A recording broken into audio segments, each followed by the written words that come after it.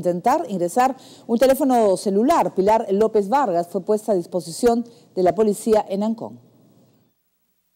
Son los instantes en que personal del INPE trasladaba a Pilar López de Oropesa, madre del interno Gerald Oropesa, hacia la comisaría de Ancón. Fue detenida al interior del establecimiento penitenciario Ancón 1 cuando intentaba ingresar un celular al penal ocultándolo en su brasier. La mamá de Gerald Oropesa ha sido intervenida por nuestro personal en el establecimiento penitenciario de Ancón y se le ha encontrado un celular. Se le ha puesto a disposición de la Policía Nacional DIRINCRE va a intervenir, se van a hacer las investigaciones del caso y esperamos que la Policía Nacional pueda hacer las investigaciones del aparato de telefonía móvil y luego espero que la Policía Nacional ponga a disposición de, del Ministerio Público a la señora Pilar López.